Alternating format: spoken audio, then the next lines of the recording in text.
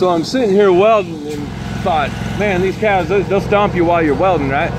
Well, uh, my dog is taking on to keeping a pretty good semicircle here. See that? I can weld to my little heart's desire and that dog, hey stupid, watch him, watch him. Good boy, go watch him. Good boy.